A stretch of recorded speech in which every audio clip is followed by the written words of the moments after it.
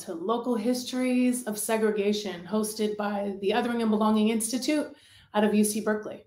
My name is Sarah Kroll, and I am absolutely honored to be moderating this panel of three brilliant researchers Susan Eaton from Hartford, Connecticut, Nicole Montojo from San, the San Francisco Bay Area, and Rashid El Shabazz from Alameda, California. Many of the most powerful efforts to address and solve racial inequality are local, based on unique community histories, experiences, leadership, and organizing. The incredible authors you're about to meet have helped to create reports on local histories of racial inequality and racial segregation that have become important tools for building awareness of the often overlooked origins of these conditions. Today, they're going to share stories about their research and give us a window into their process and methods. All three researchers are passionate about using their reports to both show the deep harm that has been done and to lay a foundation for reparative practices. They're clear that community based repair requires authentic storytelling from all different areas of society. I know this is going to be a, an amazingly dynamic session, and I'm so looking forward to it. I know you must be too. Now, before I have our presenters introduce themselves, just a bit about me. Again, my name is Sarah Kroll. I use she, her pronouns, and I'm currently working with the Othering and Belonging Institute as a consultant. For accessibility purposes, I'm a light skinned Black woman with very short salt and pepper hair, black rimmed glasses, and spiral black earrings. Behind me is a portrait of Angela Davis, painted by my amazing mother, and a poster that says, I am a Black woman. I also want to qu quickly share about um, share that the Othering and Belonging Institute, apropos to the work being shared today, has generated what may be one of the most sophisticated interactive mapping tools for representing race and residential segregation in the United States. It's called Mapping Race in America, and the Institute developed an explainer video of the tool that's being launched simultaneously with this event. You heard it here. We're dropping it into the chat, the link, and uh, we really encourage you to check it out when you have a chance. And now I just want to take a moment to acknowledge the land where the work of the Othering and Belonging Institute happens. It's on the unceded land of the Ohlone people, both in what is called Oakland and Berkeley, California. If you'd like to name the place you're calling in from into the chat, please do so. It's in the comments section on the right. If you're learning the names of the original people of the land you're on, we've dro dropped a link in the chat to help you locate that. I engaged in this land acknowledgement both to acknowledge the land and the people who are its original and current caretakers. The practice of land acknowledgement is a step toward the truth that the land is unceded, meaning it was taken rather than given and of the grave harms enacted on Native people by means of taking. This is a single step on the journey of repair, not its end. Repair includes self educating, learning about how you can support work of local native people and initiatives in your community and or national campaigns like land back by the NDN Collective that teach about rematriation of everything that was taken including land language, ceremony, food, education, housing, healthcare, governance, medicine, and kinship. We're adding a link to the chat about the NDN Collective so you have inform- more information about their important work. I really think it's appropriate to acknowledge the land as we enter into discussion about the history of segregation in different parts of our nation. So that was a mouthful. As we prepare to hear from our brilliant researchers today, I invite you to take the posture of deep listening, comfortable and yet alert. I suggest leaning forward just a little bit or sitting on the edge of your seat, whatever brings you into an engaged, receptive space. And I invite you to take a deep breath in and let it out. Let's do that again. Take a breath in and let it out. Wiggle your toes a little bit, wiggle your fingers. That sends the blood back up to your brain, especially if you've been sitting in, in Zoom meetings today. We really want you present for this incredible work. All right, so now that we're present and grounded, panelists, I'm going to have you introduce yourselves by telling your name, your pronouns, where you're calling from, and a visual description, like I did, for accessibility purposes. And then please tell us one thing you know for sure and something that surprised you about the research you're about to share. So I'm going to say those again. It's it's a long list. I know that you have the agenda, but I want to make sure you have it. So you're saying your name, your pronouns, where you're calling from, a visual description for accessibility, and then one thing you know for sure, and something that surprised you about the research you're about to share. And I'll say one thing I know for sure is that I'm really excited to hear from all three of you. So let's start with Rashid. Peace. My name is Rashid Shabazz, and uh, my pronoun is bruh, and coming from uh, Huichin, uh, Ohlone Land, Alameda, California. And visual description I have a brick background behind me. So, uh, what people would call the color orange or I don't know, ember, some of that nature. And uh, I don't know, I have short hair, my waves not really coming back in, mustache, beard, goatee, smile with a gap. And uh, one thing I know for sure is I'm really excited about being on this panel today. And the last one is um, what's something that surprised you about the research that you're about to share? Just something quick. Yeah, sure. I think that so uh, being displaced inspired my my research, and I was surprised that that had been an ongoing theme in the experiences of Black folks in the city of Alameda. Thank you so much, Rashid. Wonderful to have you with us. And Susan, you're up next. Sarah, it's great to be here. Yes, my name is Susan Eaton, and I and my pronouns are the she series and I'm calling in today from Waltham, Massachusetts, and uh, that's just outside Boston, Massachusetts. And this unceded land, thank you, Sarah, for that. It's an important word to put there, was um, once shared among the Massachusetts people, and that includes four contemporary surviving tribes. That's the Mattakeeset, the Natick, the Ponkapog, and the Nemasket um, my visual description is I'm a white woman with um, rectangular glasses and kind of unruly uh, hair that's a combination of colors. uh, and I'm sitting in a room with a uh, green painted walls and a plant right behind me. And I'm wearing a white sweater and a blue and white scarf. Um, so, one thing that I know for sure is that um, if I'm feeling sad or anxious, that um, cooking and serving and sharing healthy, delicious food with people that I love will lift those bad feelings and make me feel really grateful to be alive. Uh, and one of the things that I was surprised about with this research is I've been doing research like this, not as in depth, but in a lot of places across the country for many years. And one of the things that I'm both surprised and delighted to find every single time is that there were always prophets. I call them my local prophets, mm -hmm. um, some living, some past, who said and talked about the harm of segregation way back before it was a subject of a lot of panel discussions um, and who warned about even the seemingly race neutral um, decisions that were getting made were going to harm Black and Brown communities. They often weren't listened to, um, but those were the folks and the who I really relied on all the time. Mm, thank you so much, Susan. Thank you. And we're, we're all going to go to the East Coast to have a, a stress related, anti stress related dinner with you. Okay.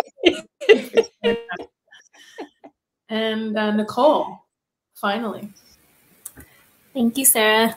Hello, uh, my name is Nicole Montojo. I use she, her pronouns, and I'm calling in from Fremont, California, which is unceded Ohlone land. Uh, for a visual description, I am a, an Asian woman with a round face. I've got um, light skin, big glasses. I'm wearing a blue collared shirt and a brown sweater. And I've got a blurred background, but I've got my um, bookshelf in the back. Um, and one thing I know for sure is that I'm so grateful to be able to spend my workdays coming up with research questions and collaborating with folks like you all on building knowledge together and doing research. Um, and one thing that surprised me about the research that we're talking about today is um, how far back in history land use policy was used as a racial exclusion tool, um, and and policies specifically that were on paper race neutral go back to the late 1800s in San Francisco. Nicole, thank you so much. Thank you. And thank you, everyone. Um, before we dive into the research, because we have a, a tiny bit more time than we thought, I'm going to invite you and Rashid, thank you for adding that background. I'm excited to hear you talk about it. Um, I'm just going to invite folks to take another breath and let it out. And just roll your shoulders a little bit. Roll your shoulders back. It's my firm belief as a person who's a mover, a dancer by trade, and a just a mover, but with everything, roll them forward now, is that if we're in our bodies, we receive information in a more powerful way. Just an invitation to roll your neck if you're able. Ooh, and if there's cracks, I'm going to send you my chiropractic bill and reverse it. yes, good. Beautiful. And then just stretch your arms out. Really reach them out to the sides and then reach to a diagonal and to another diagonal. And then interlace your fingers and just stretch forward and look down at your belly button away from your screen. And then open your arms and reach up, looking up, looking, reaching, reaching up. And then shake your fingers out, shake your hands out, shake the whole thing out. Thank you, my academic researchers, for joining me in that movement thing. Yes, shaking it out. Good. I want you to prepare, be prepared. I want you to be light. I want you to to really be present for for what you're about to share because it's so important what you're sharing. These are not just academic exercises that you did. These come from deep, passionate places.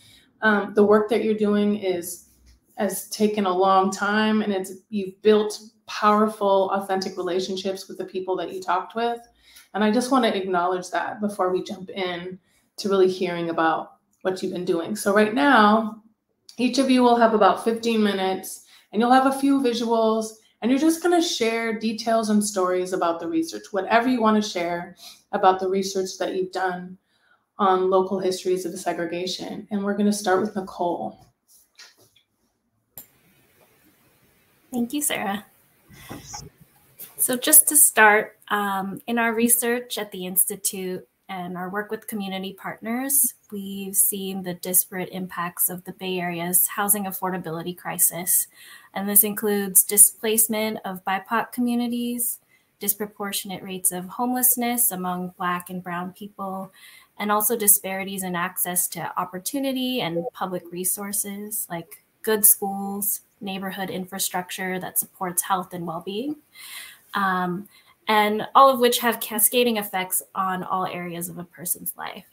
So we saw that it was important to look at the current crisis in a historical context, especially as we as a region are asking what we should be doing about this affordability crisis.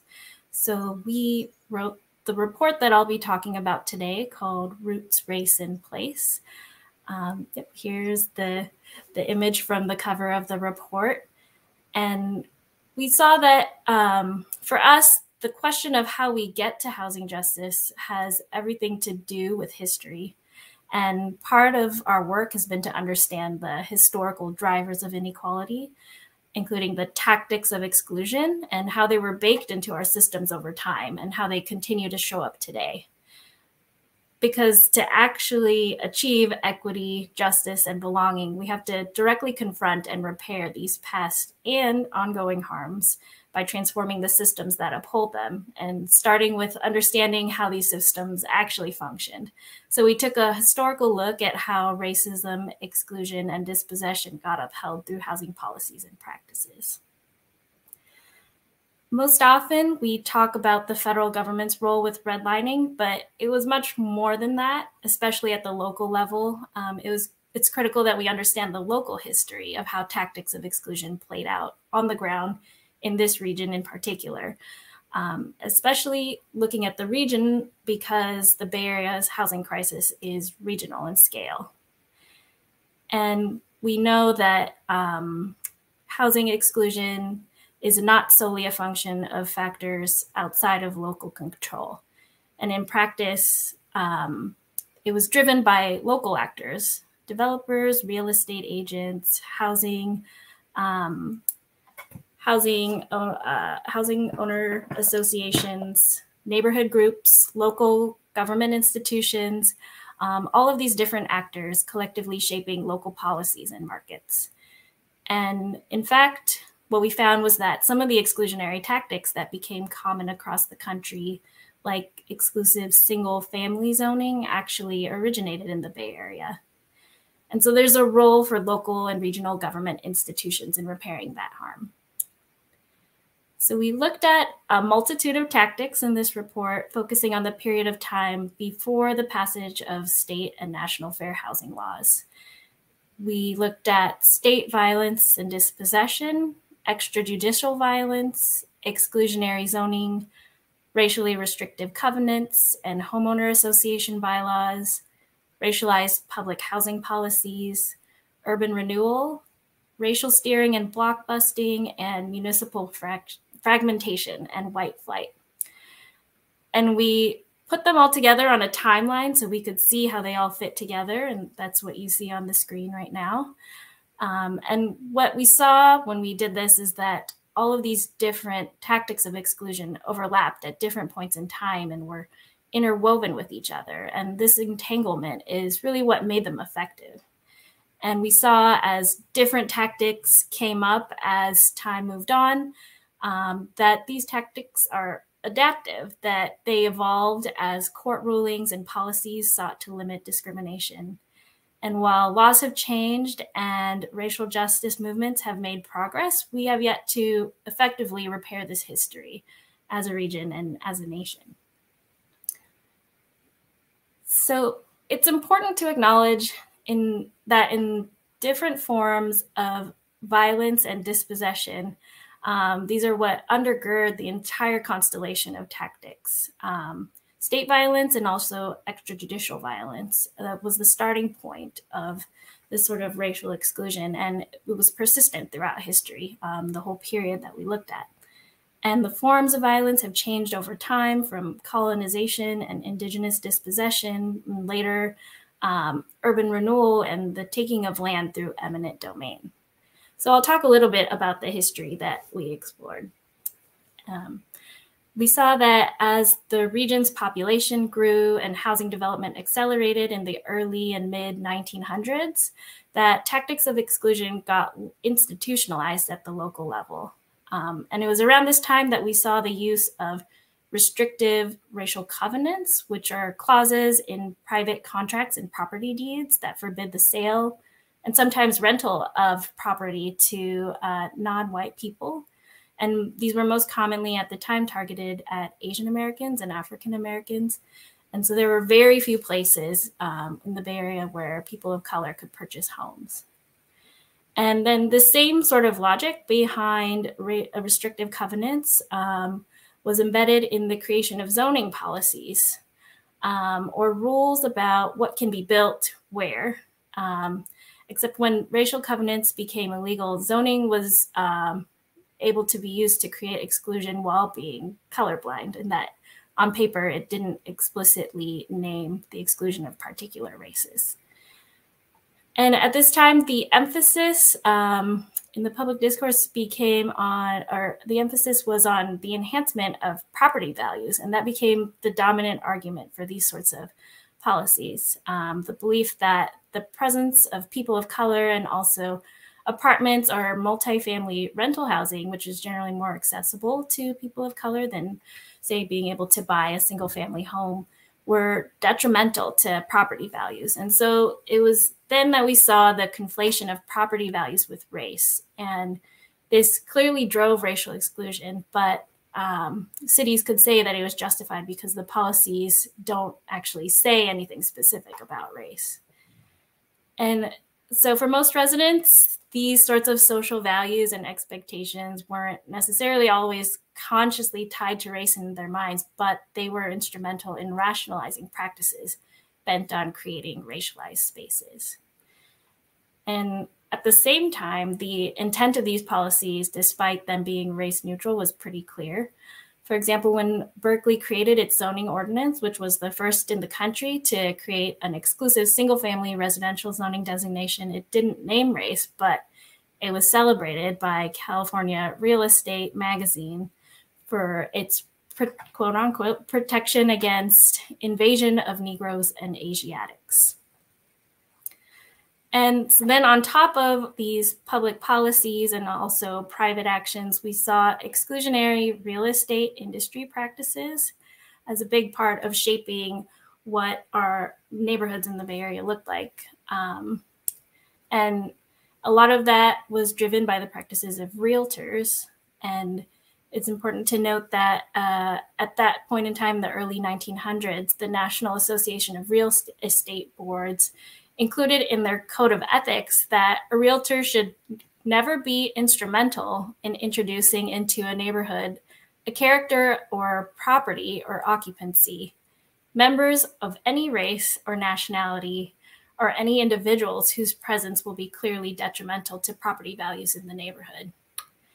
And, and so that was considered what was ethical in the practice of um, real estate.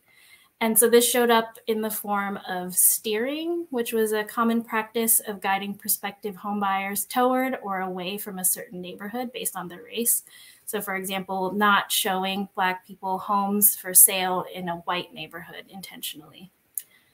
Um, and in addition to industry guidelines, there was intimidation of realtors or community members who were willing to do business with people of color and also intimidation um, and threats of violence uh, on prospective residents of color themselves.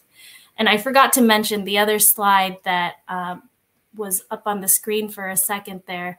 That uh, shows a couple of ads for new developments in the Bay Area, one Rockridge Park, and then another development in Kensington. And it shows here specifically, it advertises that racial exclusion is part of what these um, developments offer.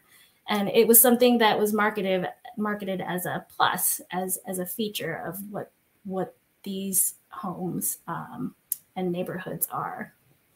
So you can see in this one from a newspaper, it says no Negroes, no Chinese, no Japanese can build or lease in Rockridge Park. And then the one for Berkeley Park, it says no flats, stores, or apartments. no temporary houses or shacks allowed, no Asiatics or Africans.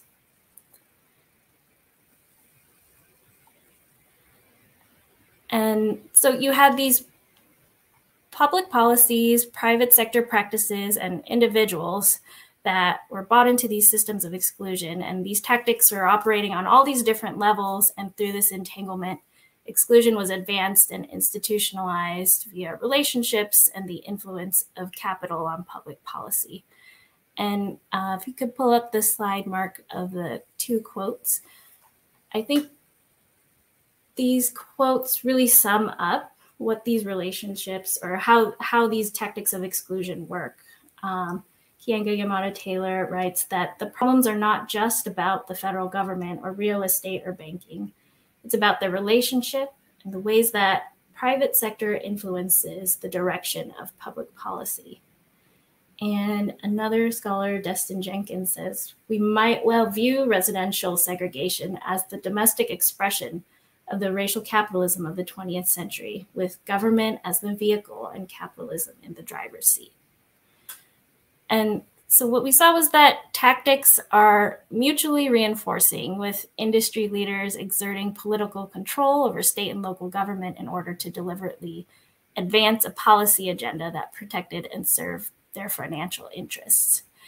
And just to share a story or an example of how this played out, um, in Berkeley, the chair of the Berkeley Civic Art Commission, whose name was Duncan McDuffie, and he he was the person who spearheaded the creation of the city's original zoning ordinance in 1916. Um, this person was also the president of Northern California's largest real estate brokerage and development corporation, which built numerous racially restricted subdivisions in Berkeley and also San Francisco. And so this person was both um, a major player within the real estate industry and held a public position. And he was also an Elmwood resident uh, in Berkeley, and he pushed for particular restrictive zoning policies in his own neighborhood. And so when we looked at all this history and, and where it fits in the timeline, we saw that by the time that we got to the civil rights area era, the legacy of this early history was solidly in place, and inequity was built into the physical landscape of the region, which meant that it became incredibly rigid and durable. And because of that, we see traces of this history in the present day. And one example of that is persistent segregation and spatial inequality. And this is something that our colleagues at the Institute have studied, measured, and tracked over time. And they found that the Bay Area is more segregated today than it was even in 1970. And for anyone who wants to do your own research on this and find out about how demographics and segregation patterns in your area have changed, I hope you'll check out the mapping tool that Sarah mentioned earlier. Um, it's a really uh, valuable resource that you can use, and you'll be able to look at anywhere in the Bay Area and zoom in and see racial data at any level of geography um, with uh, how that uh, the racial demographics changed over time from 1980 to 2020. So I will stop there for now. I'll hand it back to you, Sarah. Thank you so much, Nicole. Wow.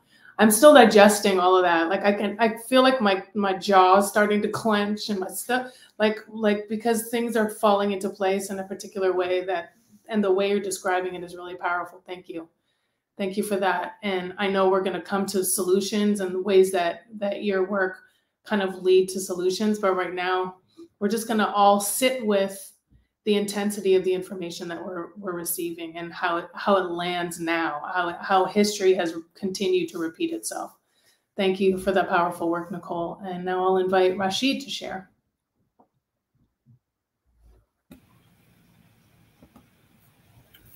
Awesome. Thank you, Sarah. And um, thank you for that uh, presentation, uh, Nicole. Appreciate your work. Um, I got the, you know, I got the book in the other room. So uh, my research focuses on the city of Alameda, California. And the publication I did was almost 10 years ago. At this point, Alameda is our home was my undergraduate thesis. And so I've been uh, in the process on and off of working on revising it um, as a book. And um, what I'll just share today are some of the, I think, examples of some of the themes and the practices that Nicole was mentioning um, that, you know, operate both at the regional level, but um, they happen in specific uh, cities. And I think by tracing these things, uh, these these policies and practices, as well as the resistance uh, to this, or as uh, Susan called them, the uh, the profits, uh, you know, we can see how people profited off of segregation, but again, how people resisted it and how it persists to this day. And so, um, I am just going to give a, a, just a very general overview and a couple examples of uh, the findings in Alameda. When I started um, doing the work, it was, um, I mean, it's, it's sort of iterative, ongoing process that's led in many different directions. But I really wanted to understand um, my own experience of being displaced. Uh, so in 2004, uh, my family and nearly 400 others, we were all forced out of the BVs, the Buena Vista apartments, uh, then called the um, the Harbor Island apartments owned by um, slumlords based in Florida, the 15 group, uh, who have a track record of buying multi-family properties, or they will call them distressed properties in areas that um, are gentrifying and they're able to purchase it and then uh, either jack up the rents, um, redevelop it, um, to renovate it, and then sell it. And so they've done that in Boyle Heights and a number of other uh, places. And so when we were forced out around that same time, I learned about uh, the previous displacement of um, primarily Black residents in the estuary projects in the 1960s. And so seeing this recurring theme and the fact that there were some people who lived in estuary or whose family had lived in estuary and they had uh, experienced what people call serial forced displacement, this repeated process, I was really interested in understanding the origins. And so um, the earliest instance of uh, explicit racial exclusion that I was able to find was in 1910 on the east end of Alameda. A group of white homeowners gathered in the home of a real estate agent because there was a rumor that a real estate, um, or actually a real estate, I think, broker, because uh, a realtor was going to sell their property to a colored family.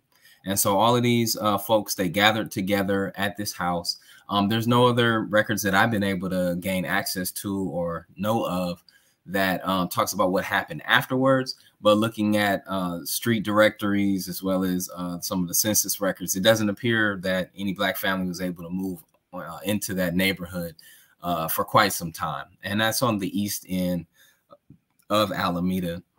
And what's uh what's interesting about that again it wasn't um a policy that was sent down from you know federal government. Like this is something that was from the realtors and the families were all invested in this idea that if this family had moved in the property values would decrease. It would somehow be a threat um, to their well-being. And so uh, moving forward in time um, just a few years uh, the first uh, instance of racial covenants I was able to find also on the East End um, at a property called the Water, was it Waterside Terrace? And uh, it's a place where, you know, some judges have lived uh, historically, a number of other prominent old Alameda figures, as they uh, have come to call themselves. And so uh, we see an interesting um, coalescing of real estate exclusion and people who have different forms of power. Um, one I will uh, mention with a little more specificity is the um, the Fernside. Um, what what I was first uh, uh, heard, I, what I first heard was called the Fernside Pact, uh, and later understanding these are the restrictions that were put in um, by the developer for the homeowners association. So sometimes these restrictive uh, covenants might be put in, or it may be an instance where uh, families may come together and come to an agreement to agree not to sell to uh, certain folks. Uh, and in some instances, it would be more uh, through a homeowners association, or it may even be the developer themselves who would put this in prior to selling it. Uh, and so this was an instance where this was um, sort of driven by this developer, Fred T. Woods, who developed a number of different properties in Oakland and a few other places. Uh, and then uh, this was something that was adopted by the homeowners association. So if you were to move here, you become a member of this association and you agree to these uh, these conditions in order to live there. And so, uh, very similar to uh, some of the ones that um, that Nicole mentioned, uh, this is what uh, Clause 16 stated. No persons or persons other than of the Caucasian race shall be permitted to occupy said property or any part thereof, or to live upon said property or any part thereof, except in the capacity of domestic servants of the occupant thereof. And so I think what's interesting in this uh, this passage, and it goes on to to specify African, Japanese, and Chinese, so some of the specific groups that they were targeting. But what's also interesting is that it's not only preventing the sale and occupancy, but it's allowing those folks to be on the property if they are in this domestic um, servitude relationship. And so, again, this spatial inequality of excluding people is also a way of uh, reinforcing certain racial hierarchies and um, forms of uh, subordinate labor. And so, uh, that was the Fernside Covenant, and there's a few others that I was able to find in other places. Um, one of the things that I think many people will recognize when we talk about racial segregation or racial segregation is uh, redlining maps. And so these maps that were produced by um, or for the Homeowners Loan Corporation that uh, are understood as being the areas where people could, uh, where it would be a good investment, a place to give uh, loans with lower risk. And so you can see in this map here, the area that's uh, Piedmont, it's green um, the areas in the hills. Um, if you're familiar with the Oakland, um, Berkeley, Alameda, the, this the East Bay region, this inner core, and so these areas uh, that are green and blue were seen as being good for investment. Uh, the yellow areas were deemed definitely declining, and these are the areas that had racial transitions or they were um, they were racially mixed. Uh, sometimes the housing stock might be a little older or it may have multifamily. And then these areas that were um, red or rated D were considered hazardous. And so there's very few areas nationwide that had any black people that were not um, rated red. I think it's only one. I'd have to like go back and look at the mapping any uh, mapping inequality website. But you know, if there's black folks there, it's then deemed to be hazardous. Uh, but then it also that also was the case for a number of other racialized uh, groups. And so I think what's interesting in this map is, you know, folks from the Bay Area may instantly recognize um, Oakland uh, in this, um, Berkeley, South Berkeley. And then if you look at the bottom, there's this brief disconnection uh, or separation, and that's the island of Alameda. And so the north side of the island of Alameda uh, was the area that was uh, redlined. And so this is an area that uh, about 75% of Alameda's black population lived in that area. And it was primarily um, um, prior to 1940, it was primarily um, Asian, Chinese, and Japanese, um, African American, and a number of different uh, European uh, immigrant groups. So, or uh, they would be referred to as these foreign born uh, populations. And so, again, these uh, racially mixed areas were considered to be hazardous. And so the ideas uh, from, you know, that early 20th century racial eugenics, pseudoscience about racially mixing being something that's hazardous. And so um, just moving uh, forward through through uh, through history, that was prior to World War II. Folks may be familiar that uh, with the history of the Great Migration, and particularly during and after World War II, massive uh, internal migration within the United States, um, coming out of the South um, uh, amongst African Americans. First, um, Black people in the South leaving rural areas, going into southern cities, and then many coming west. And so California was one of the areas with some of the greatest uh, population increases, and then particularly amongst African Americans. And so during World War II in the city, uh, city of Alameda, there were a number of housing, about a dozen housing projects that were constructed, and they were all built primarily on the west end of Alameda, and a lot of it on uh, former fill, or right, this uh, landfill that was created to generate more land. And so what we saw uh, in Alameda was that these projects were uh, racially segregated. And so I have a, a, a second image that, um, if you can uh, bring that up, there's a uh, this history of racial segregation in the Alameda projects was contested.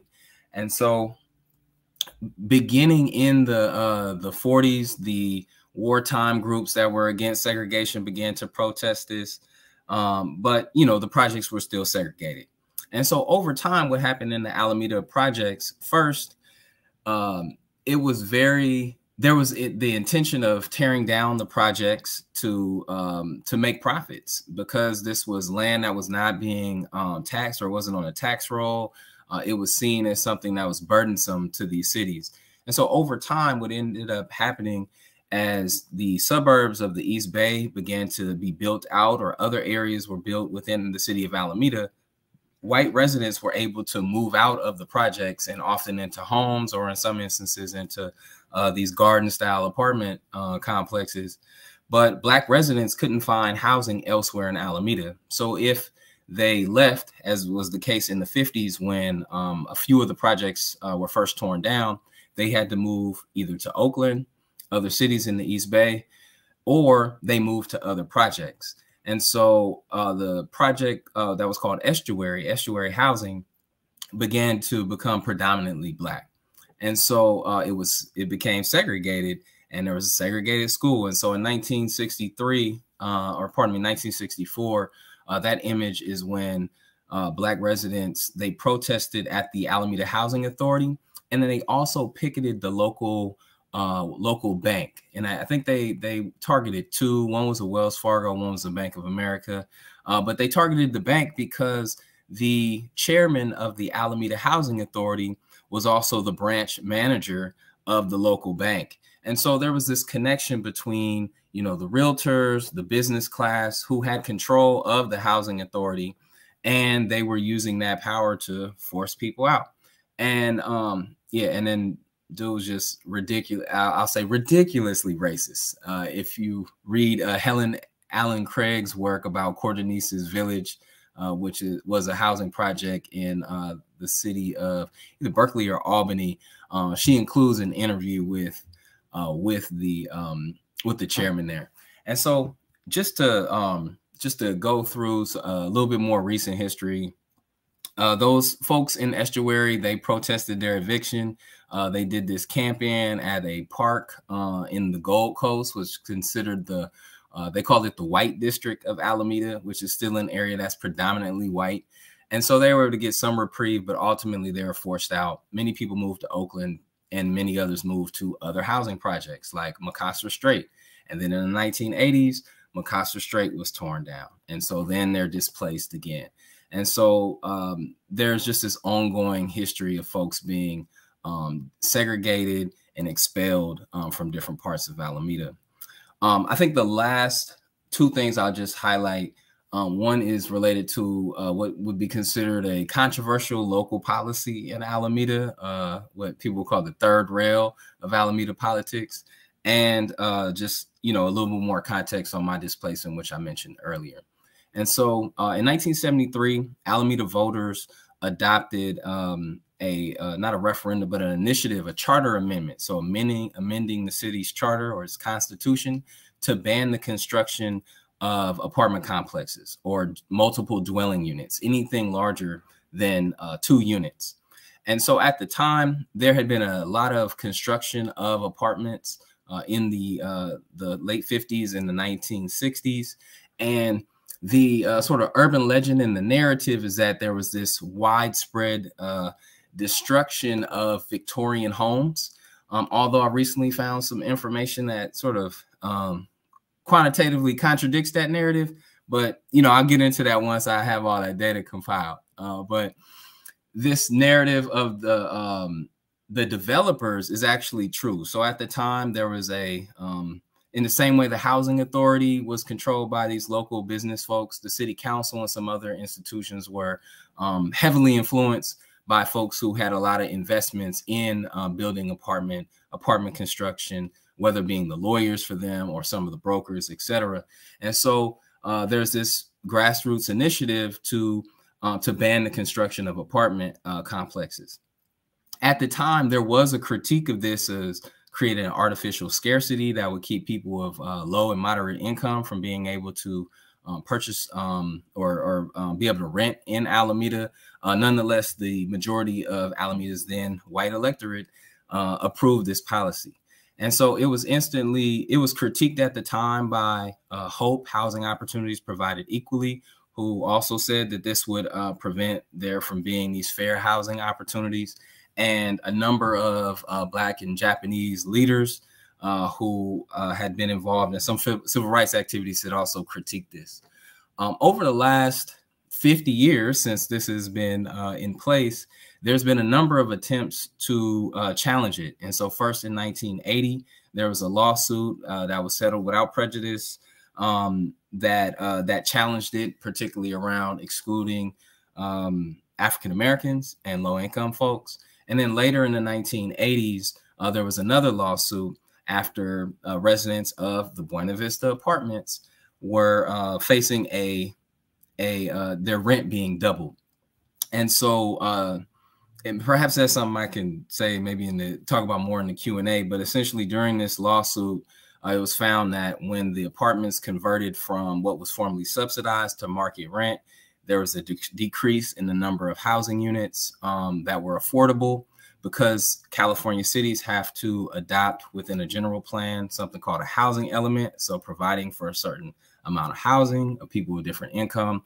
These uh, civil rights activists and these um, uh, public interest attorney, they were able to uh, sue and get a requirement that the city of Alameda provide 325 low income apartments, low and very low income. Uh, that was in 1989 that that settlement happened, and the city of Alameda still has not replaced the 325 low income units that were lost at that time. And so, uh, again, that was one instance where during that time, Measure A began to get challenged, and that's that's what this 1973 initiative was. And the city of Alameda decided to settle instead of going to court in order to um, protect that um, to protect that local law. Uh, it was later the subject of a potential lawsuit in uh, 2011 or 2012 over the housing element. And in 2020, Alameda voters actually voted to maintain its exclusionary zoning. And so it's been a long road to attempt to uh, chip away at this um, this law that is largely um, can largely be cited for uh, limiting the production of affordable housing in the city of Alameda. And just lastly, as I mentioned earlier, um, you know, in 2004, our family uh, was forced from the Buena Vista apartments. And fortunately, we were able to find other housing within the city of Alameda. Uh, there was a study that was done by the school district looking at the impacts of the uh, mass relocation um, or you know they call it the mass eviction. And 66% of the children who uh, attended um, local schools actually had to leave the district. And so we can look at um, them having to leave the district meaning they had to leave alameda. And so we know that a large number of folks who you know from my neighborhood were not able to stay in alameda. And so at that same time there were reports around um, housing discrimination against us seeking to find other other um, places to live. And um, part of that was because we were being defamed in the local uh, newspapers uh, and some of these like yahoo listservs because we were all allegedly criminals and drug dealers and doing all other sorts of savory unsavory activities so uh, just that's an overall a portrait of this in the city of Alameda. And again, I just would emphasize that uh, as much as there's been this long standing effort and um, glossing over of exclusion, there has been a long tradition of people resisting and trying to make Alameda a place where, um, as this unofficial motto is, where everyone belongs there. Rashid, thank you so much. Thank you so much. I'm I'm I'm over here, same clenched jaw, going, oh hell no. Um, especially the the 2020 election that that upheld the segregation in, in Alameda, which is really just close to here. Thank you so much for that research. And thank you for sharing it from the point of view of your family being displaced from Alameda. And folks who are, are interested in asking questions, I see people adding stuff to, to the comments chat section keep doing that. I'm, I'm collecting those questions and there will be time for you um, to give those, or, or, I will pass those on to the panelists so that you have some time to be in slight, sort of like a virtual uh, conversation with them. But let's bring Susan Eaton on to talk about your research. Hi, everybody. And um, first, I just want to I want to thank uh, well Sarah and Nicole and Rashid. Um, you know that it's been really uh, you know, both dispiriting and also um, affirming in a way for me to hear all about your research. And Nicole, I had read par parts of your report before, and it was really excellent. And I'm also really glad that we are talking about California and we're talking about Connecticut, right? Um, because a lot of times in conversations about racial segregation, I think a lot of people's minds still go to the deep south, right? And so the supposedly liberal areas of the Northeast and the West Coast, um, those stories really get glossed over, and um, they shouldn't because they're a really important part of um, our history. And in order to repair, which was the word that I think Sarah and Nicole both used really eloquently, um, we need to understand the we need to understand what happened so that we can we can think about the we can understand really the full extent of the harm done and the path toward repair. Um, so maybe you can just put up the um, first slide there of the of the report. Um, so the report that I'm going to be talking about or drawing from today is called The Steady Habit of Segregation. It was released in 2021. And um, significantly, there were four organizations that worked together to publish this report. I researched and wrote it, but it was the Poverty and Race Research Action Council in Washington, D.C., the NAACP Legal Defense and Educational Fund um, in New York, and then the Open Communities Alliance, which is a local organization, nonprofit organization in Hartford, Connecticut, which is the topic of this report, um, that works to um, change policy and practice around fair housing. And then finally, the institute that I run at Brandeis University, the Sillerman Center for the Advancement of Philanthropy. Um, now, I should say, so this report came out in 2021, but in in a lot of ways, it was a continuation of research and work that I had done um, for a book that I published in 2007 called The Children in Room E4, which is a chronicle of some civil rights litigation around education. Um, and it was a it was a narrative book. I started my career as a journalist. I still weave my journalism work into my academic work. Um, and uh, a lot of the material that's in this report was stuff that my editor said is too much. You can't put all of this in the book. So I finally got my revenge and wrote this long report.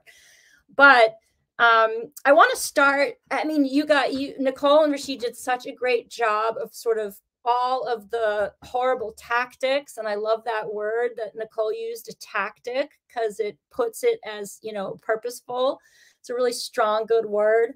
Um, so I'm not going to go into great detail because in some ways it's just like, yep, take exactly the kinds of things that both of you just talked about and just go across the country and the, it's and change the names and just make the communities a little smaller um, make the food not as good and that's what that's what you've got in in connecticut. But um, i want to share just a few stories right of of people who i met at the very beginning of my research for my book and whose stories stayed in my head and helped me were kind of like my flashlights right as i went about and tried to figure out what had happened and what had gone on and how did this region become so segregated and so incredibly unequal um, the first is a gentleman by the name of Alan Green, who's recently passed away. Sadly, he was he was a local lawyer at the time I talked to him. Very affluent, prominent African American gentleman. Sat on many boards. Was a leader in the community, and he kind of waxed nostalgic about living in what is now a 100% um, Black and Puerto Rican neighborhood in the north end of Hartford. Grew up there, and he said, "I had white friends. I had." Asian friends and I had Jewish friends, and we ate at each other's houses, and our families worked together, and we all worked together on civil rights, um, you know, protests and resistance, and we were friends. And then everything changed over time. And so I wanted to understand okay, so how did Alan's life and his experience, you know, change? And how did that neighborhood change in the way that he described? Another story was I was doing a lot of research on a particular school in the same neighborhood. Um, there were two um, girls, Rashida and Raven, sisters. And I said, Hey, do you guys want to go get some ice cream? And they both said yes we can susan but you can't not you can't get ice cream in the city of hartford. And i said what? And they said you can't get an ice cream cone in the city of hartford. You have to go to like this suburb way over there in what was called West Hartford, which was a separate suburb. There are no ice cream cones in Hartford. And I was like, no, that is can't be possible. Well, of course the girls were correct. And so I wanted to understand, oh my God, like how did that happen? How did this disinvestment, right? How did it come to this? Um, and these girls had this sense that they were crossing this major border to get a freaking ice cream cone, right? Um, and then lastly, a civil rights lawyer by the name of John Brittain, who would later bring some landmark litigation, which was the subject of my book, talked about moving to Hartford from Mississippi um, in the 1970s and noticing being shocked and disturbed by the level of racial segregation that he saw when he drove around the region. He would be in a quote white suburb and everybody was white. He'd be um, in parts of Hartford when school was letting out, and all of the kids in 1970 in certain places were black or brown children. He saw crossing the street, getting onto the you know buses, whatever, and he couldn't make sense of it, and he was disturbed by it. And those were all stories that kind of helped shape the questions that I would ask. Um, and so, in the end, this report, like your reports and your um, thesis, which I, I hope is going to be a book someday. Um, it just it tells a story and its principal characters are like in your stories as well government actors at the local state and national levels who through deliberate action through willful neglect or both played integral roles in creating and sustaining racial and ethnic, residential, and school segregation in the Hartford metropolitan region. So the Hartford metropolitan region is home to about 1.2 million souls. It contains the city of Hartford and many, a couple of other cities and many suburbs that surround it. And the way that it is organized is like many metros in the Northeast. You've got the city of Hartford, which is majority Black and Brown. And then outside, you've got a ring of fairly diverse communities. And then not very far outside, you see very little racial and economic diversity in those outer ring suburbs. And so, by all available measures, um, both the state of Connecticut and the metro Hartford area have extremely high levels of racial and ethnic segregation in both housing and their public schools relative to other metros in the United States. Um, specifically, Connecticut, um, in Connecticut, about 70% of people of color live in only 15 of the state's 170 cities and towns. So, um, like in the in the places that Nicole and Rashid described in Metro Hartford, um, racial segregation emerged from, and it's also been maintained um, by myriad intertwined forces, right? So so the evidence that I collected in the report really points to, th to three particular powerful drivers. Um, one, again, federal, state, and local government action. So willful inaction. So this includes repeated rejections of regionalism in favor of local discretion. And that sounds really boring and really academic, but it's quite important. Um, and it's because when you've got local communities and they're segregated by race and by class, and you're giving the local communities decision making power about how to use their land, uh, where to make investments. What has happened is that the white communities, wealthy communities, want to remain exclusive and white, and they do that through a variety of means through zoning, by by putting on Rashid, Rashid pointed out putting on limits on how much multifamily housing can be present. Um, and so this local control extends to, to education, right? So where the boundary lines, so in the Northeast, the boundary lines between schools are coterminous with those little tiny um, school like uh, municipalities. So you've got school districts, you've got 170 school districts in this tiny state of Connecticut, right? Drawn along these lines that have created housing segregation. Um, so uh, through through through all of this, so legislators rejected numerous proposals that would have reduced racial and economic segregation in the schools and made made the schools more kind of a regionally based systems. And these decisions to reject integration, both at the local and the state levels, came after there was fierce white suburban resistance to any change. Um, and this report also documents that until quite recently, government officials even enforced it, enforced these school district boundaries through criminal penalties, like say a mom. There's an example of a mom who um, was homeless and she had lived in the city of Norwalk, eh, but she ended up being in a shelter in the city of Bridgeport. Well, she wanted her kids to continue going to the Norwalk public schools, and so she lied and said she was still a resident of Norwalk. She was threatened with jail time, um, and there were several other instances of this. Um, so another another driver of segregation and inequality is um, again, as you both pointed out, racially discriminatory action on the part of institutions and industries like banks, like insurance companies, banks that would take you know deposits from the city of Hartford and then invest in mortgages in white suburban communities, insurance companies that refuse to give insurance to or gave exorbitantly priced or terrible insurance policies to um, black and brown would be homeowners in black and brown communities, um, made it extremely difficult for them. Um, landlords who, um, again, like you both pointed out, steered people based on race, um, just made people feel totally um, uh, unwelcome in particular communities. Um, and all of these different industries, it's important to remember, at least in the case of Connecticut, that even though they're private industries, and we can say, oh, well, they were just private, you know, people acting on the profit motive.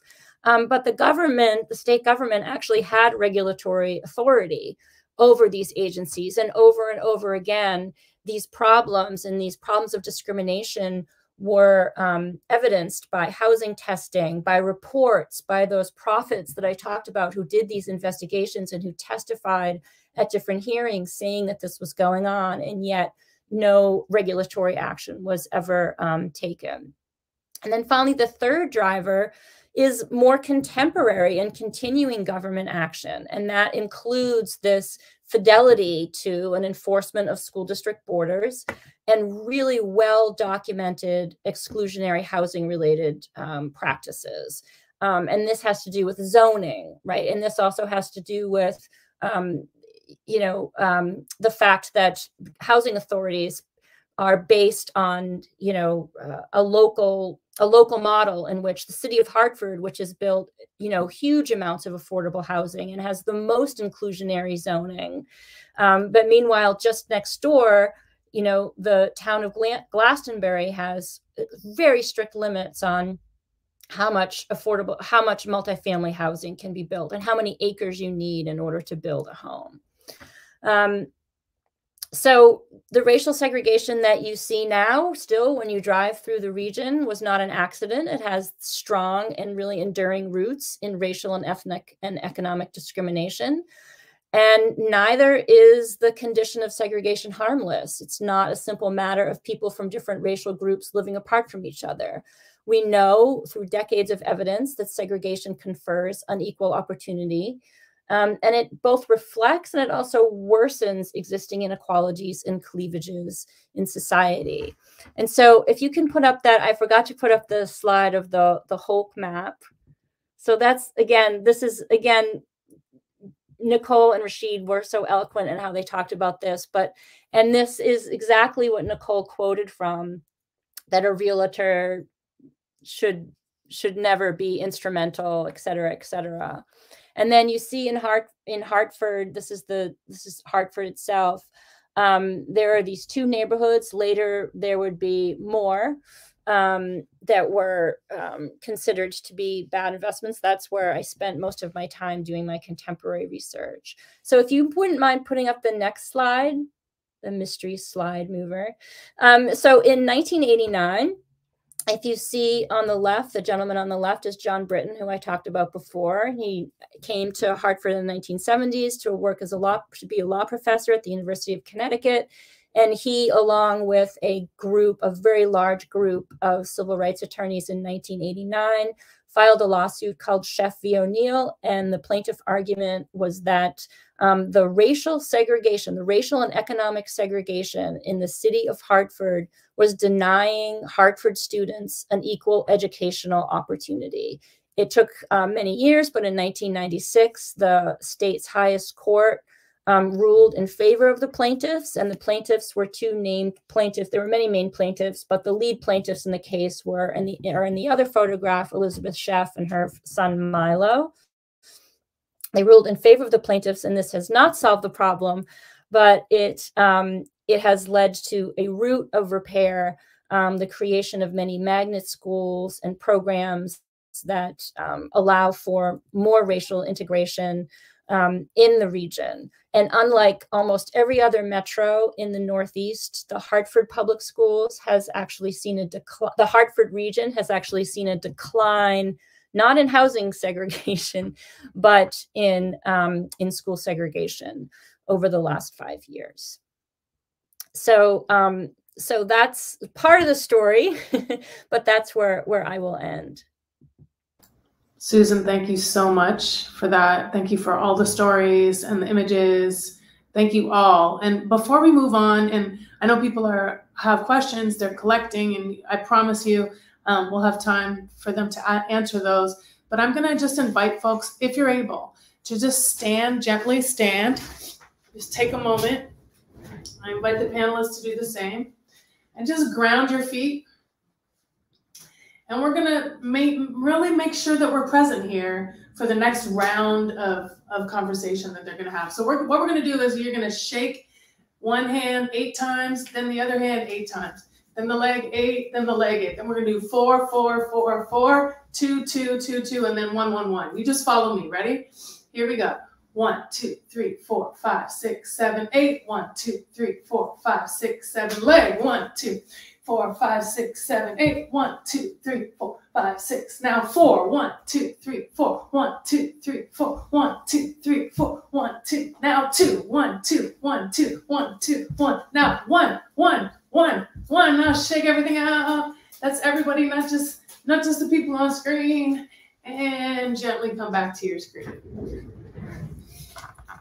Now I know I know I warned the panelists today that I was going to get them up and moving. Everybody was willing, so I just give you major respect for doing this. I respect researchers who are also willing to get up and move.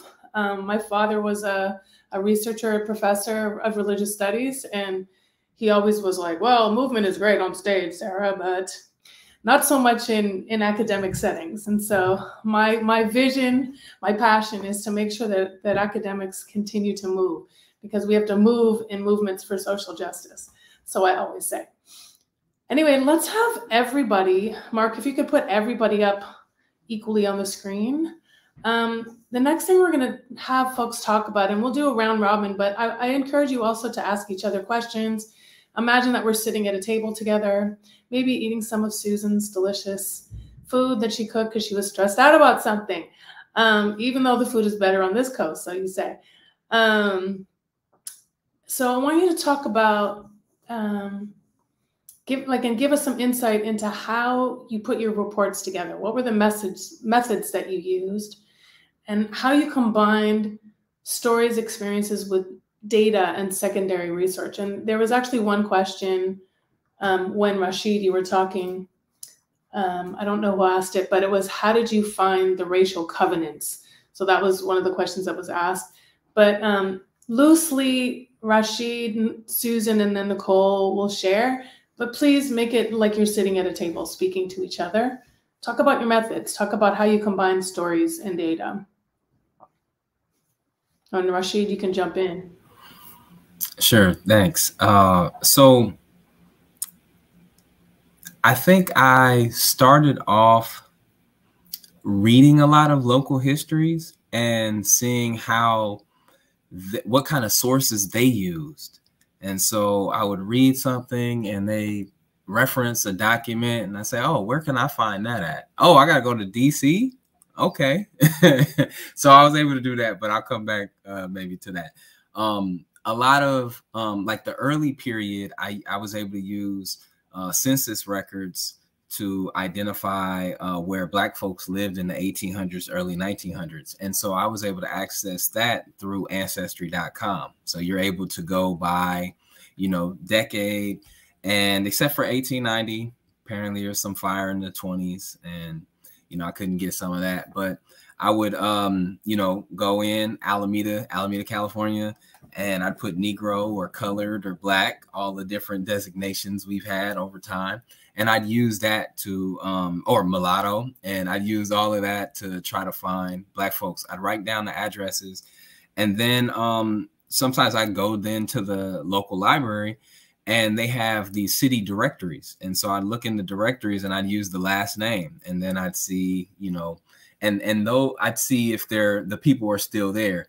Um, whereas the census um, is every 10 years, these directories were often every year. And so I can then try to track the movement of people. So that's some of the stuff I did during that early time period. Um, and then in some other instances, there were other uh, archives I was able to access and look at uh, information. And, um, you know, I think the best archive, which I did not use enough, um, is the um, our people. so interviewing, um, I only interviewed about five people when I uh, did the initial report. I've done a number since then. But um, you know, those um I, I wanted to do interviews because I knew that the records I was interested in finding in uh finding that would have helped me tell the story. Um, I either couldn't have access to it. Um, so at that time, like when I started my research, I went to the Alameda Museum. I asked them, "Hey, I'm looking for information about you know black people in Alameda," and I was directed to the library. And so uh, that's a problem. Uh, but the library was very useful, and I could, you know, find old newspaper articles, and I could, you know, use quotes if people were quoted and incorporate that into the narrative. But there's a lot of stories like people who weren't talked to, people who had experiences that um, just weren't documented in those same ways, or because we've been displaced so many times, things that people may have kept, records that maybe they ended up in storage, or maybe they ended out on the street in a trash can because people have been forced out so many times.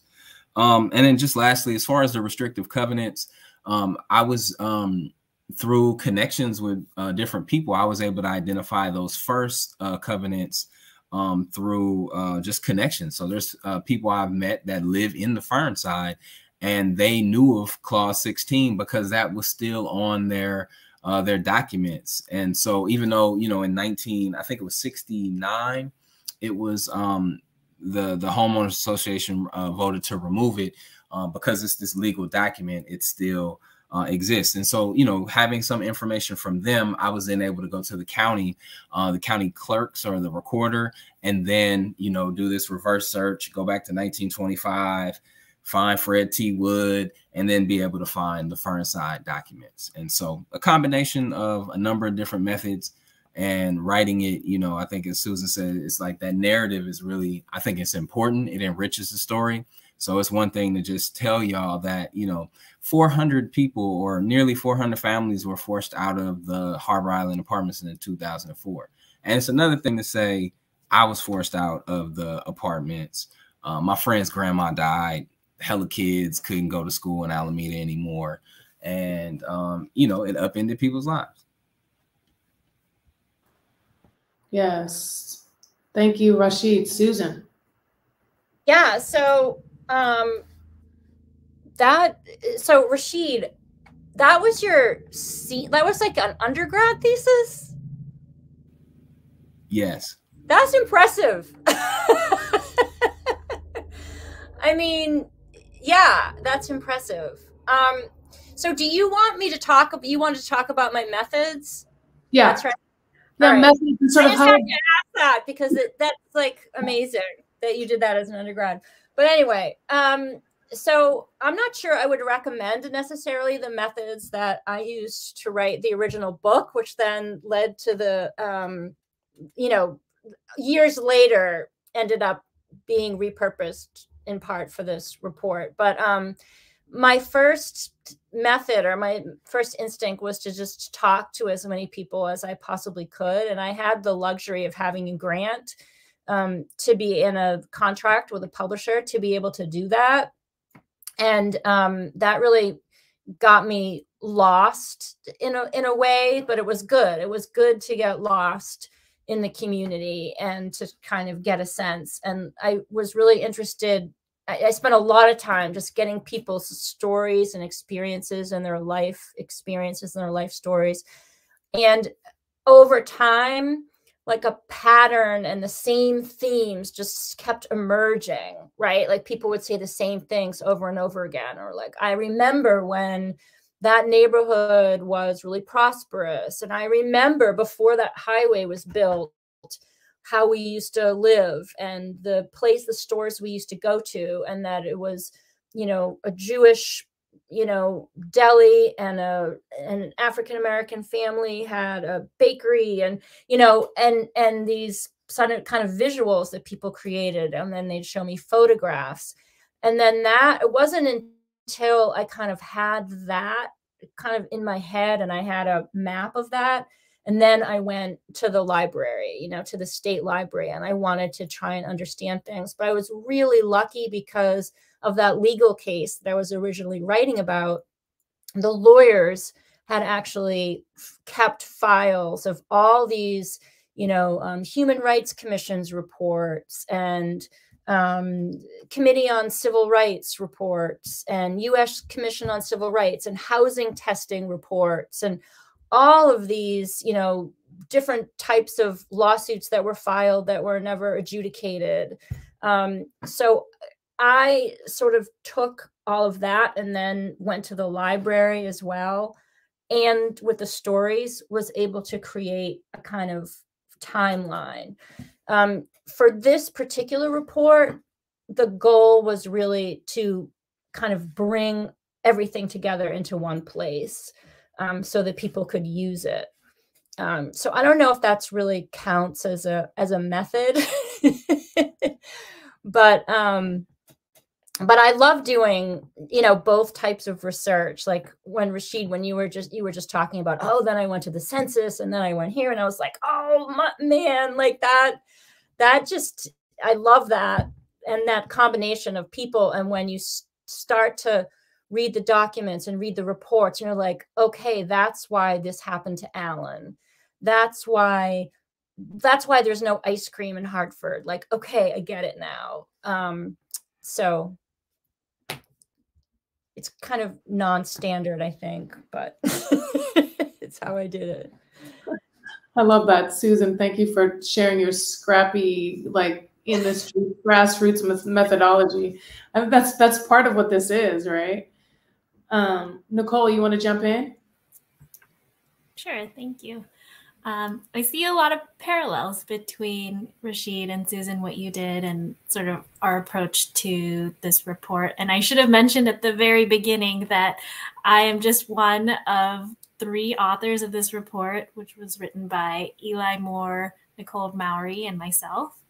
And and so we started with the the recognition that a lot has been documented locally already, but hasn't been necessarily woven together in a way that tells a regional story. And so, like Rashid and Susan, we spent a lot of time in the library looking at books and testimonies from civil rights commission hearings and scholarly articles um, which uh, have, were amazing sources that just don't get enough attention. And like Rashid said, we looked for documents that all of these sources referenced. Um, and we started with what we know about exclusion and exclusionary tactics that existed more generally at the national level and looked into um, the sources that we identified for specific examples and stories of how they manifested in the Bay Area.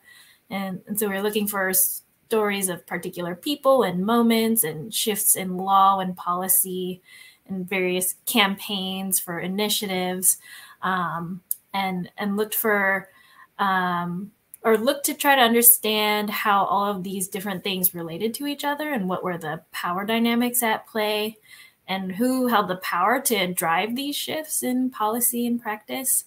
Um, and and as we did that, we we tried to trace how all these different tactics evolved and connected to each other uh, to really see this full picture um, along the same lines of what Susan described of all of these different actors sort of in a constellation. And and really looking at the specific stories made it clear. Um, there's one story that opens up the report uh, about a chinese american family in um, san mateo county who tried to move into south san francisco. And the particular story really illuminated all of these different actors and connections at play because it was um, sort of similar to a story that Rashid shared about um, a town meeting that got called by the city manager and all the residents of this neighborhood showed up and and protested them moving into the community. And it was decided that they couldn't. And and a lot of that was driven by the original developer of that neighborhood um, sending a letter to homeowners that urged them to protect their private property rights and um, make sure that this family didn't move into the community. And and part of that story was also that the city manager was also a resident of that neighborhood.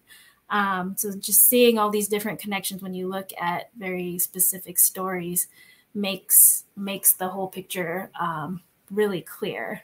And um, so we we looked at those stories and once we documented all of the cases that we found we also wanted to look to the archives to see what sorts of historical materials beyond the report we could find linked to the stories, um, recognizing that if we put something out there, it would be better if we could share images and um, archival material beyond just a very long report of text. Um, so we we looked to library collections, and there there's really amazing archives out there. Um, one that was particularly helpful for us was the Bancroft Library on on UC Berkeley's campus. For anyone who's local to the Bay Area, um, you can access it, and and that's where we we found the archives. There's an entire folder uh, about the Mason McDuffie Corporation, and found like the actual paper racial covenants and documents from their business and and then there's also a ton that's available online of archives that have been digitized like the real estate ads um, the city of san francisco's brochure that they put out um, selling land that was taken by eminent domain um, during urban renewal in the fillmore um, and and it's amazing how much you can find just by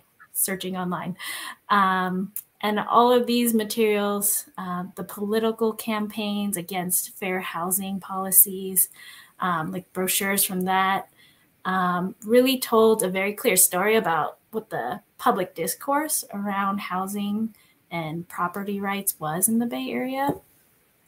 And um, and and that was the essence of the approach we took. I think very similar to Susan. I, it might not be what you'd call like a traditional method um, and felt quite scrappy. mm-hmm. um, and and also like what Rashid said, I uh, said I, I wish we did spend more time talking to folks in the community, and that's something that we've continued to try to do um, because there are folks with really important stories to tell about how um, these tactics of exclusion affected them um, and continue to to um, to manifest in their communities today. And um, just one to highlight, I recently spoke to folks from Golden Gate Village Residents Council, which is a public housing development in Marin City. Um,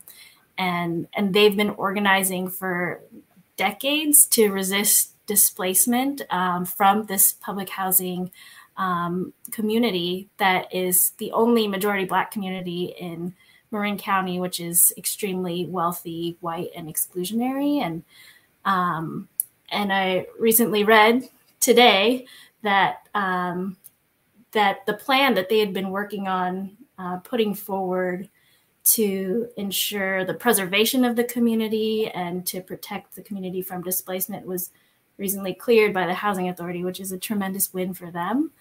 Um, and and I was so appreciative of just hearing um, in detail about how um, how they fought for for um, their community over the many years, and speaks a lot to the resistance that we didn't get to cover in our report as much, but um, agree with Rashid that that's such an important story to tell.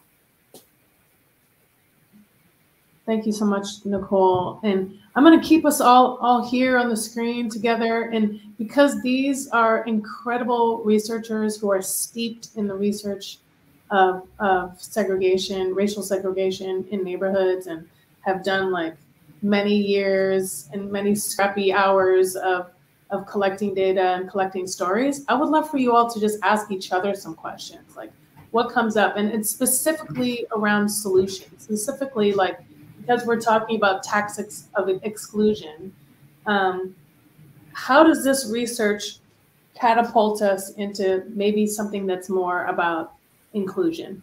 What are your dreams? What are your fantasies? You know, the, maybe the first question to start off with is, what's most exciting to you about how things could shift and what could it look like? What are what are you trying to achieve in terms of housing justice by doing this work? Have a conversation, have at each other. Mm. Well, I mean, I'm really curious to hear about um, reactions that your work, Rashid. I know this you did this work a, a while ago, but um, you know, and how how communities have used it, both of either of you. Sure. Uh, so yeah, so I, uh, it was uh, my thesis was published 2013, 2014, and um, shortly uh, or a few years after, uh, a new tenants movement emerged in Alameda, and during that time, I saw some of the mechani- mechanizations of some of the uh, the local landlords and some realtors, and what I realized is that folks didn't know that history um, some of the folks who were organizing. And, you know, one of my elders, um, Sia uh, was attempting to inform some folks, and she got some sort of uh, some some range of like racist, misogynist uh, response to this to this black woman trying to like warn folks, like, hey, some of this stuff has happened before.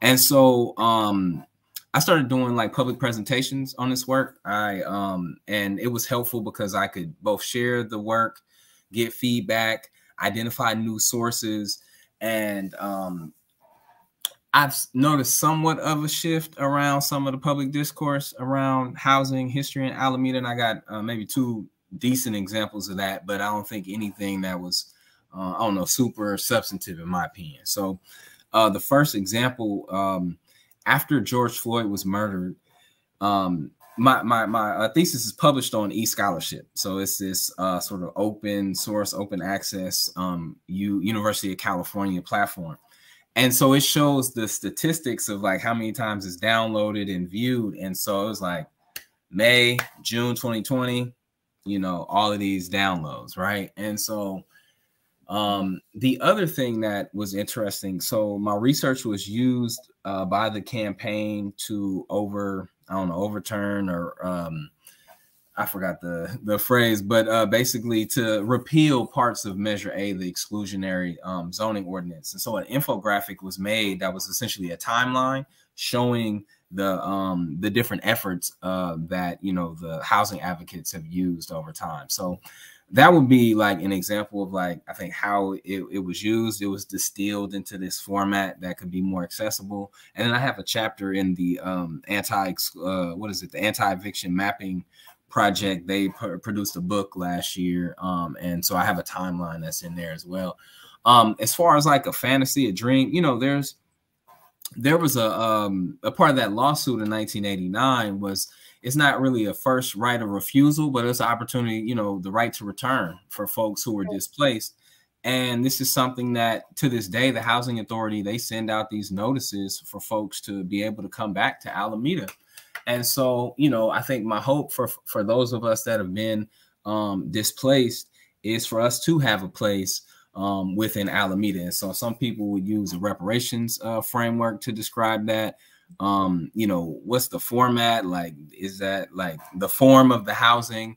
Is that ownership? Is it co-ownership? Is it a cooperative? You know the alameda housing authority their first property was a, a whites only housing cooperative. Initially it was just a housing project but in 1948 it became essentially a whites only um, uh, development and you know from my research to this day i don't know of any black people that have owned it. It's been a couple people I've seen enter and exit some of them, but they don't uh, actually reside or live there, as far as I know. So I think, um, yeah, I think that would be, uh, you know, that opportunity for all these people that have been displaced, for the Hackett family who whose home was taken in 1935, so that um, the rest of Alameda's could have power. There's a central substation for the local power company that was built on the former property of a, early black pioneer and black family.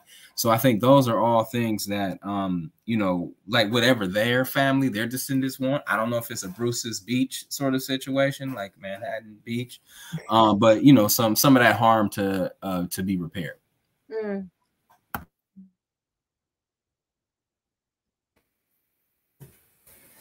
I'll just second Rashid's vision and dream for the future for housing justice. I feel like that that's so beautiful, and I appreciate you sharing that, Rashid. Um, for us, one thing I'll share about the reaction to the report or the response um, was that we found that there was a really amazing response from teachers, um, like K through 12 teachers in the region, and um, we ended up working with a graduate student at Berkeley, Danielle Fogel, to develop a summer teacher institute of sorts. Um, that was a week long space for us to work with teachers to um, have conversations about this history, to explore it together, and then mm-hmm. to work with them to develop curriculum for young people um, to really be able to understand this history and position themselves in um, thinking about what it is that they can do about it as agents for change. Um, and so I think we're planning to release some of that curriculum that was developed in the relatively near future. So that's something to stay tuned for.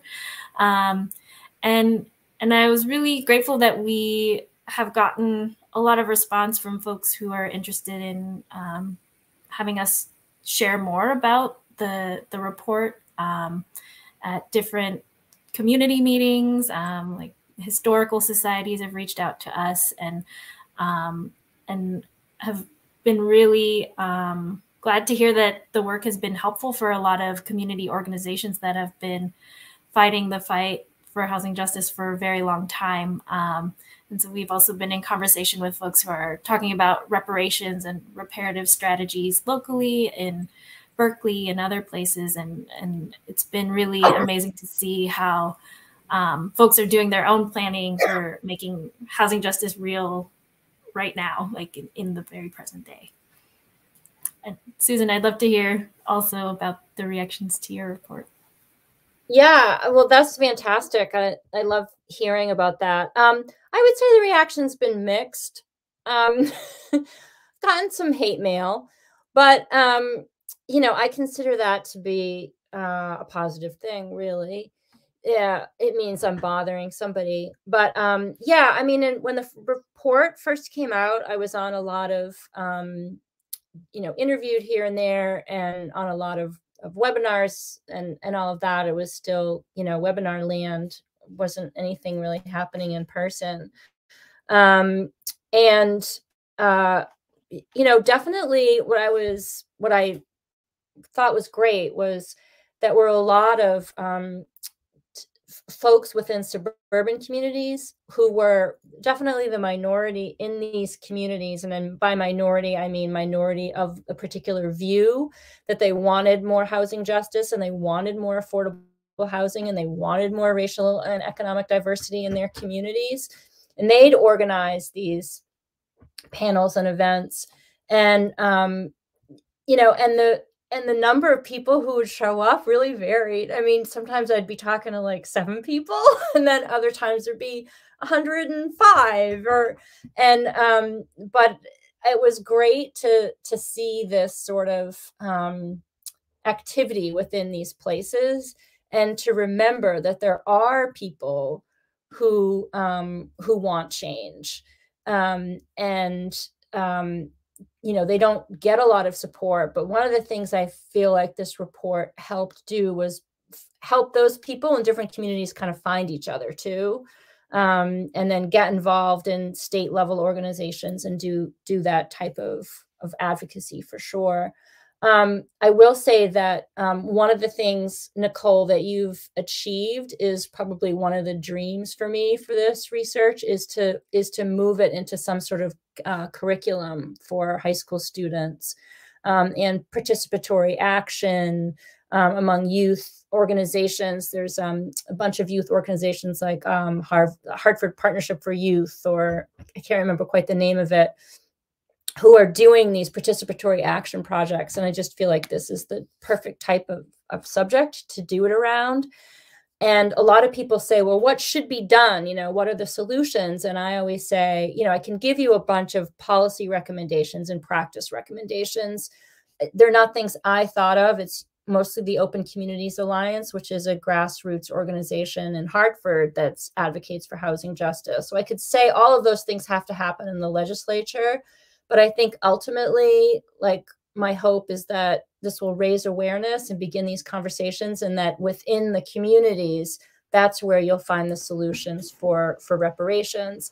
And one of the things that I've been trying to to make clear is that this report is about racial segregation and to a lesser extent the way that racial segregation reinforces and creates inequality but that doesn't mean that when you're coming up with with what the repair for those sins basically are, it doesn't necessarily mean that it's just about reducing segregation. You know, it's not just about like, oh, we want to have an integrated community, you know, or we, you know, we want black people can now, you know, move easier to the suburbs. That's not what the repair is. It's maybe it's a reinvestment in black and brown communities or and and I'm not the person to say what that is or should be. Um, that's emerges out of the community conversations. The people there will have much better ideas than I do about what that would look like.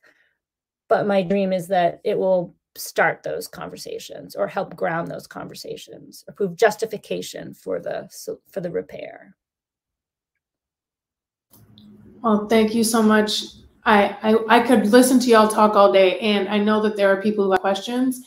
Um, I'm noticing, and I'm just grabbing these questions as they come. Karen said, but I, I just want to start with one piece of gratitude before we jump into question. Karen Brown says, Thank you for taking us beyond stats, important as they are, to naming some families. I think that's really important about the work that you're doing, that you're really connected to the community. Um, one question is um, for Rashid. Did you do all this work by yourself? I'm working on something similar with another person and find it, find it almost overwhelming. Uh, any uh, historian will tell you that uh, they could not do any of this without archivists and librarians. So um, certainly didn't do it by myself. Uh, in that respect, uh, had the advisement of Eula Taylor when I started my work. Um, but largely, like, yeah, that's me at the library and the microfilm and you know, some dusty place or whatever. Um, and, you know, just thinking about um, some of the trends I've seen around research, community based research, you know, if you have opportunity to collaborate with folks, I would encourage you, you know, if you're able to work in that way, um, to do it. And that could be whether uh, that could be either some part of the uh, research, like identifying documents, or if writing, um, if that's helpful um, to get feedback or write collaboratively.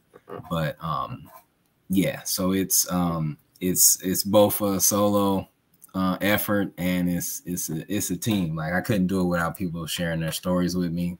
The people who come to who came to my talks at the library, like, hey, um, here's this document from you know this time period or you know some other folks who've written about um, stuff. Um, i get into you know i've had these interesting um, i'll say conversations debates with a local historian Woody Minor um, who i have some different uh, i have some a different analysis around some things with but i wouldn't be able to do um, any or half of what i've done if he hadn't done a lot of legwork prior um, from not only just doing research to even creating guides of where to find stuff. Uh, and so, yeah, I don't think it's a. It may be a solo project, but it's never. Um, it's never alone. Mm. Yes, thank you, Rashid. And and a, a question for any of you: um, How can we use the growing body? This is from Milton Reynolds. How can we use the growing body of scholarship to speak directly to regionally based reparations or transitional justice processes? And then anybody can take that one.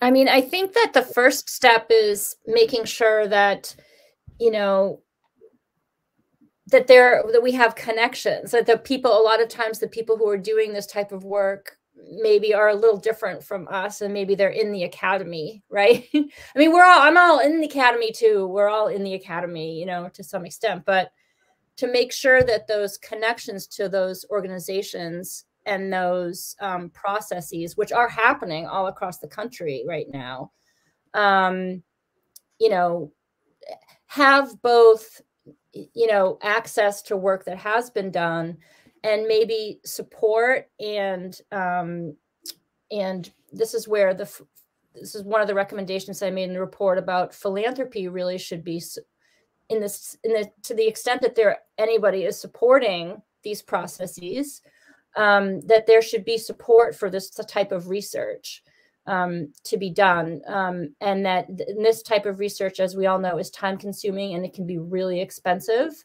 Mm -hmm. but if there's a pairing with people who've done it before and who have experience, then um, that can be really beneficial because it's it's it just helps make the case for reparations in these really specific granular ways. I mean, Rashid, you just mentioned like a that person's house was taken mm-hmm. for this purpose. Like there's a lot of examples like that that you would that you would find that you would dig in, but it's yeah, it's time consuming and and challenging.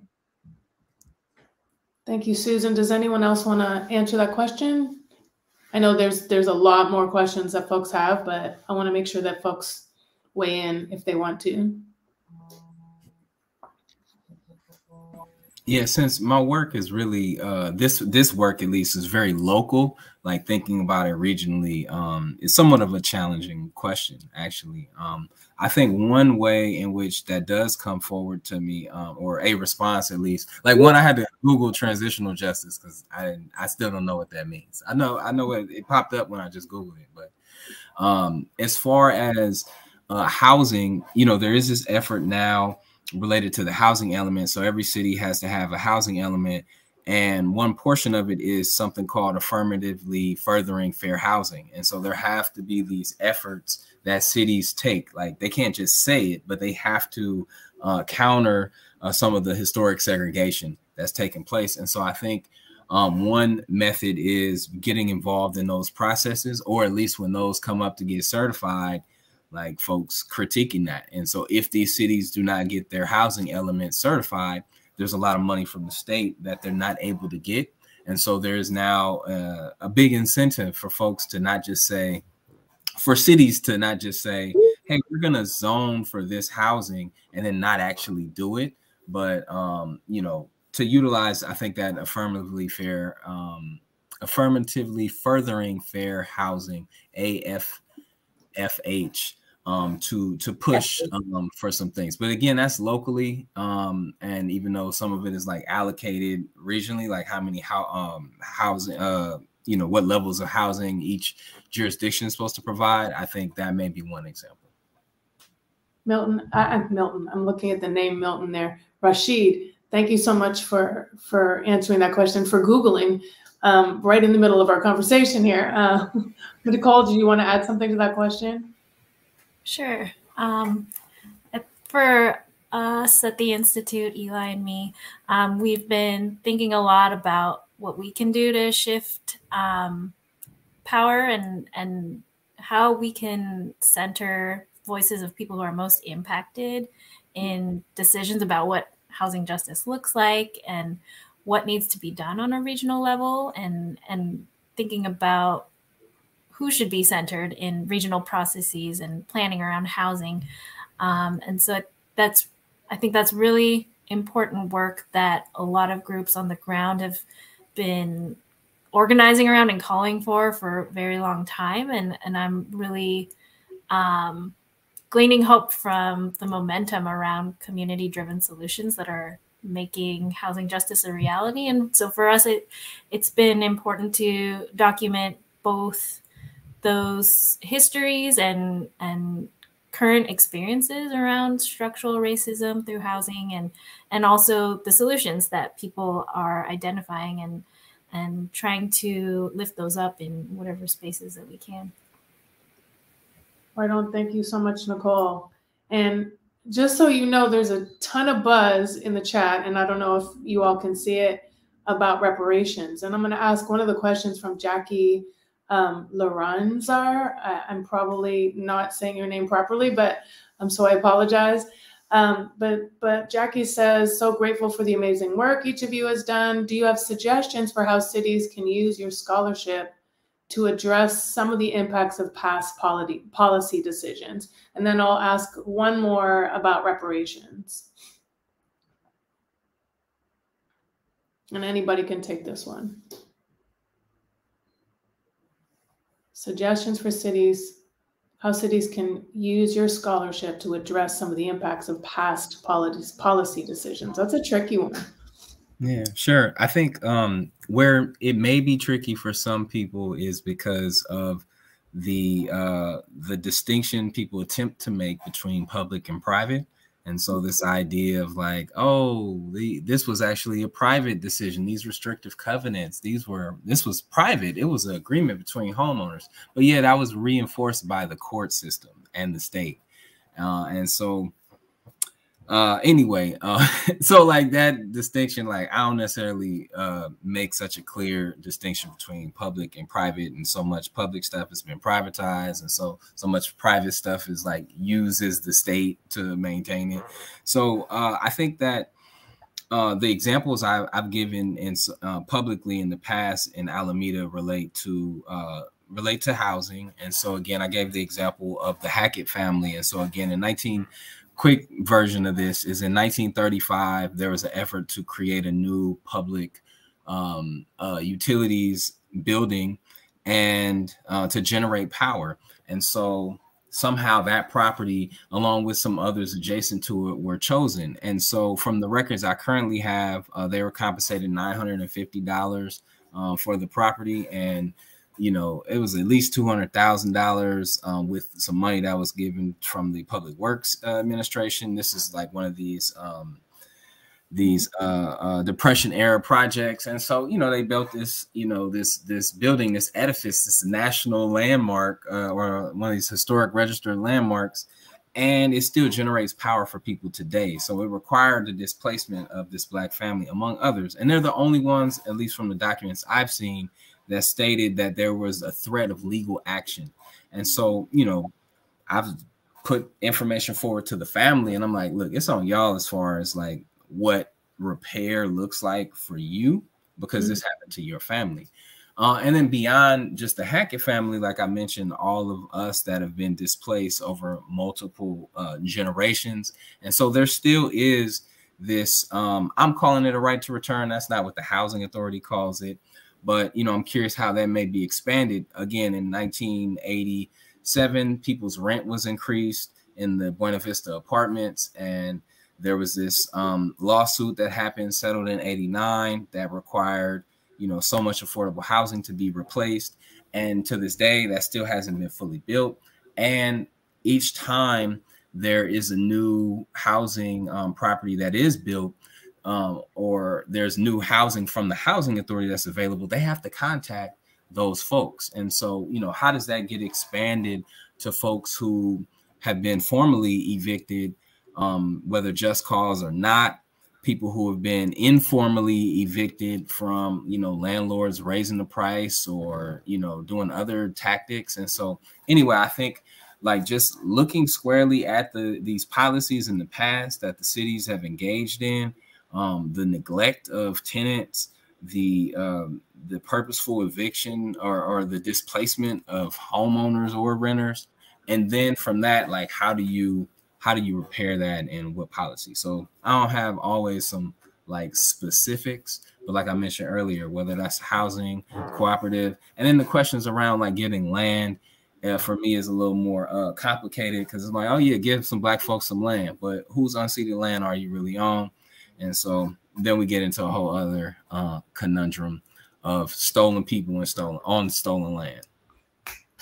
It's complicated. That's that's the truth. It's complicated. Any other um, panelists, Susan or Nicole, you want to jump in on that question? And and you could also add, like we can add into the mix since um, Rashid is kind of talking really about reparations as as part of the, the answer to this. Like one question, another question related to it, and you can answer either. Um, Barbara Sutherland says, to all panelists, who do you see as the audience for your works? Is one goal to change white attitudes, especially about white entitlement and possibility about reparations? So I can go. Um, so my, it's interesting. when I started out talking about this, and I put a picture of the report on there and all the different organizations. Um, that was purposeful because we all have different audiences. Some of them overlap a little bit. Um, but um, you know, I would say the audience for this particular report is actually quite large, and we addressed it in our recommendations to philanthropy. We addressed it to you know civil right the civil rights community in terms of litigators and possible ways in and building legal theory around some of these um, documented harms, and we addressed it to elected officials um, and we addressed it to organizations, grassroots organizations who are doing work in um, related to housing justice, relating to school integration, all of those, all of those kinds of things. Um, so, um, so that is the, the answer answer to that question. And I think there was a second part that slipped my mind. But to the previous question about how can cities use it, I'm not sure maybe the questioner meant just communities within cities, not necessarily city governments. But I mm-hmm. guess whatever, I just think it's really important to also to really think about the state because a lot of the times the things that local governments are doing, like say zoning, which is big in the in the northeast particularly way of of racial and economic exclusion is it's a power that's actually granted by the states to local communities. And local communities are really creatures of the state. uh, you know, so so that's another thing to, to to keep in mind to always be thinking about the state. And then ultimately, of course, the federal government as well, but just to not get completely overwhelmed, just to to uh, to try to think about those things simultaneously. Mm, thank you so much. Susan, Nicole, you want to add any thoughts? This will be our final. Sure. This was our final question, and then we're going to be wrapping in just a minute. Sure. To go back to the earlier question, um, as a starting point, I think for local and regional governments, um, recognizing and acknowledging this history and um, starting from a place of um, knowing that any policy solution that is aimed at creating racially equitable housing systems has to start with confronting the history and then developing targeted solutions that address the specific forms of harm. So, um, really getting at the granular level to understand how different groups are situated differently, largely because of the history of exclusion and dispossession, and then um, understanding how systems today are impacting people in different ways and then building solutions that respond directly to those specific impacts is what i would say to that question. I'll turn it back to you sarah thank you so much nicole and thank you all of you. Um, before we end just one final question for all three of you and then and then uh, as one of my great mentors says let the chat flow like a river. If folks have gratitude that they want to share with these amazing researchers, please do that in the chat as they share their last sentence. But it's but such distilled in one sentence. What's um one thing that you want us to remember about your research? One thing that's a nugget based on this conversation of just all the work you've done. one final thing that you wanted to take to have the audience um, remember about your research? And I'll start with Susan. Ah, oh my God. Um, I didn't write this one down. Uh, I would say. Oh, good. Emergent. To remember that uh, that people's li- that people people's lives have been um, shaped uh, and and uh, circumscribed because of this history. Mm, Susan, thank you. Let's take a breath, all of us. Yeah, let it soak in. Beautiful. Thank you. And Nicole. okay. Uh, I'd say that um, we all have to step back and ask what is our responsibility as members of this society and as actors embedded in various institutions that hold power um, to transform the systems that continue to perpetuate that harm. Yes, Nicole, thank you. And Rashid.